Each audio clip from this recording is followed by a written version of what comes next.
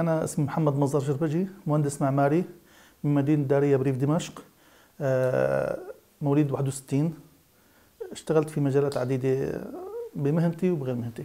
إجباري كل واحد فينا بيطمح بحياته إنه يكون مهنة معينة. طبعا ما كنت مختار الهندسة المعمارية بس المعدل أحيانا بيفرض عليك آه، بسوريا لأنه مو مثل الدول الثانية بتختار أنت مهنتك من قبل. المعدل وفي حب للهندسة فكان علاماتي بخولوني ادخل هندسة عمارة. واشتغلت إجباري كان على أيام النظام إنه بس القديم التغى قانون 49 خدمة الدولة الإلزامية خمس سنوات. فهدول كل مهندس بيتخرج في له إيجابيات وله سلبيات هذا الموضوع. الإيجابيات تبع التوظيف الخمس سنوات هي بتثقل مواهب المهندس وبتخليه يصير مهندس. يقول إنه كلمة المهندس خمس أحرف فنعتبر حالنا كل سنة من سنوات الخبرة تعبر عن سنة كذا ما بيقدر يصير مهندس لينتهي بحرف السين. فالخمس سنوات هي تأهيل كوادر المهندسين ليقدروا يفوتوا يصيروا اسمهم مهندسين بس السيء فيه إنه كان ممنوع أنت تسافر القانون 49 حارمك من تملك شهادتك. أنا ممنوع إذا عملت بطريقتي الخاصة بدي ادرس كمل دراستي برا ما فيني آخذ شهادتي ولا آخذ أي وثيقة بعد مضي خمس سنوات. هذا كان قيد تقييد لحرية المهندس بسوريا إنه خمس سنوات أنت ممنوع تشتغل أي شيء. حتى خروجك بسفر بدك موافقة الوزير المختص. يعني أنا بالتسعين طلعت مثلا على فرنسا آه، مجموعة وزارات وتعرضت ل بالمطار توقيف يسألوني مثلا كلمة. أنت منع مغادرة بلاد. يعني الكلمة خطيرة. ليش منع؟ القانون 49 قلت له ريحتني. القانون 49 سهل. بس منع مغادرة بكلمة خطيرة. يعني أنت هيك. فأبرزت له موافقة الوزير المختص وليش رايح وكذا. فهي يعني كان تقييد. حتى في بعض الهندسات محرومة من طلعة برا. يعني مهندسين آه، يعني بدل ما يكون إنسان متطور وطالع لمجتمع غربي أو يتطور بالدول الأخرى لا هو محروم. هندسة الطاقة الذرية هندسة البترول ممنوع سوريا يطلع برات البلد. لأنه أي دولة بتستفيد منه هو حيكون راتبه محدود فلما بيطلع الطاقة الذرية ما أي دولة بتستقبله.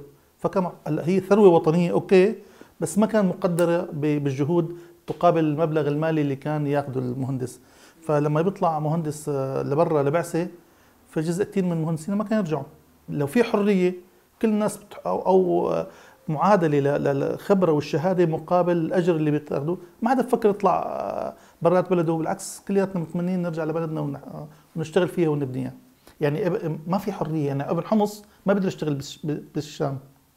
هلأ شوفي بالاتحاد الأوروبي مهندس في فرنسا بيشتغل ببريطانيا وين ما بده يشتغل؟ طالما في اتحاد أوروبي. أنا بالريف دمشق ما بحل اشتغل إلا ضمن ريف دمشق. طبعا بالعمل تبعي كان في ضغوط كثير إجباري لكثير تنفيذ مشاريع آه، لكثير مصالح خاصة. فكان رغم إنه من أجمل الأعمال هو الإدارة المحلية. من أجمل الأعمال إنك الشخص يقدم أو يتعاون مجتمعيا مع أهله ليقدم خدمة للبلد المجتمعي آه، بتجي أحيانا لو القرار جماعي بيطلع القرار السياسي هو الأقوى. هذا ما بصير ترتب عليه.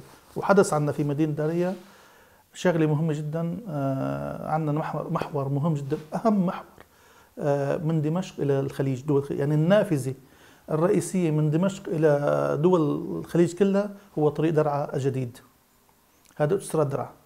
هو يمر من داريا فتدخل رأس الهرم التنفيذي اللي هو رئيس حكومة آه، كان ذاك يمكن ناجي عطري وبدهم يعملوا مدينة إبراج على محور.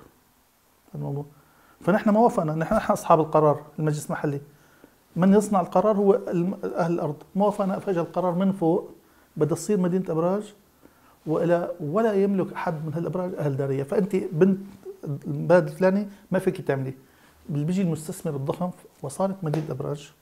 وما حنذكر أسماء اللي فيها أسماء معروفة جزء من تابع للنظام وجزء تابع لمستثمرين عرب. فهي الضغوط اللي كانت مثلا آه، تتدخل في الحكم المحلي.